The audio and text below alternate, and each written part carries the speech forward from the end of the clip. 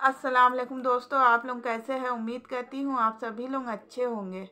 आप लोग हमारे चैनल पर नए हैं तो हमारे यूट्यूब चैनल को पहले सब्सक्राइब कर दे, बेल आइकन प्रेस कर दे, ताकि हमारी हर नई वीडियो का नोटिफिकेशन आप लोग तक जल्द से जल्द पहुँच जाए और अपने सभी दोस्तों में शेयर कर दे। अब मैं आज का वीडियो शुरू करने जा रही हूँ।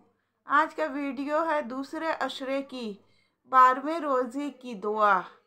मैं बारह रोज़े की एक अमल बताने वाली हूँ।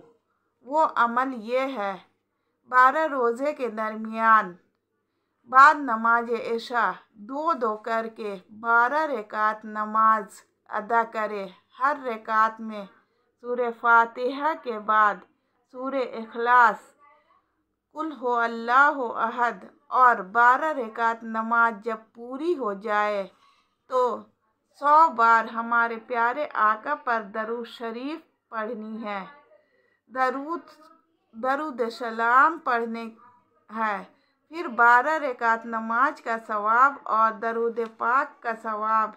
अल्लाह तबारक ताला की बारगाह इलाही में पेश करना है और फिर दुआ करनी है।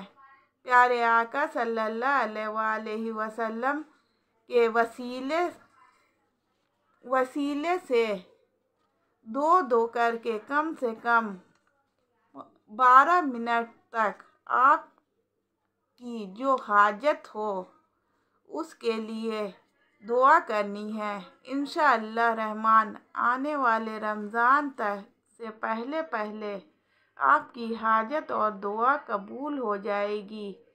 ये किसी बच्ची का रिश्ता नहीं लग रहा तो उसके लिए भी ये बहुत मज़रफ़ अमल है। इन आपकी परेशानी दूर हो जाएगी।